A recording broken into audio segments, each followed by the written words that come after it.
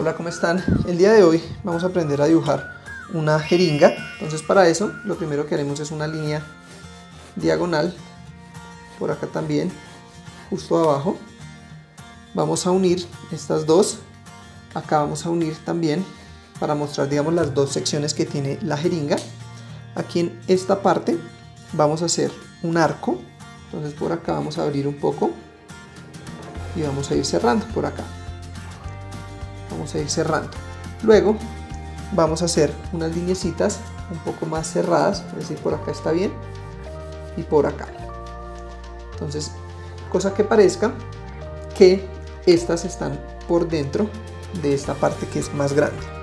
Aquí vamos a hacer un pequeño arco como para dividir también la sección que empuja el medicamento. Entonces por acá vamos a hacer un par de linecitas por acá que se va a ver a lo largo de toda la jeringa por este lado.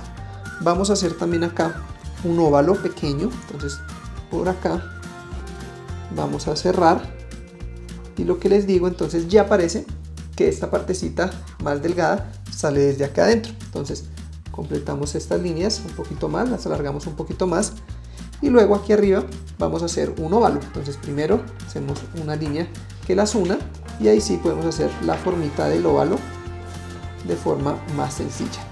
Así entonces ya tendríamos el óvalo en la parte de arriba. Ahora aquí en el centro vamos a alargar vamos a hacer una linecita para tener aquí eh, donde vamos a ubicar la aguja.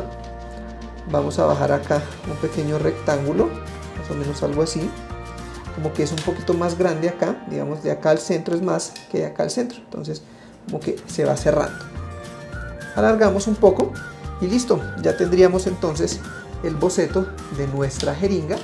Solo nos quedaría tomar un marcador para hacer todos los detalles. Entonces yo voy a empezar acá con el óvalo en la parte de arriba, por acá, de esta manera, así. Luego voy a ir bajando. Entonces, esta linecita la llevo hasta acá, por acá igual.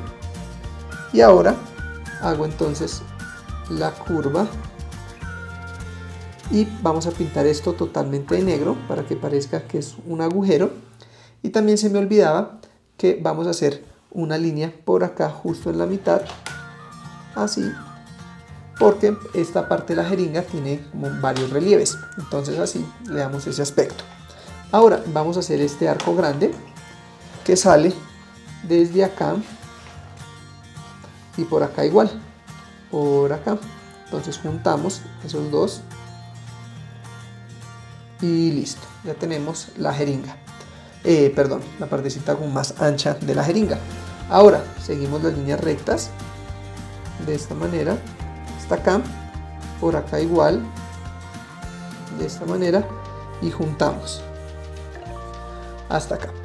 Vamos a hacer las dos lineecitas lo que les digo aquí como lo, va empujando el medicamento y luego hacemos las líneas que se ven como con la medida del respectivo medicamento. Vamos a hacer aquí también esto que tiene más como forma de una montañita y terminamos haciendo la línea de la aguja y listo. Una vez entonces hemos terminado de usar el marcador ya podríamos borrar todas las líneas guía que quedaron acá del boceto que hicimos con el lápiz.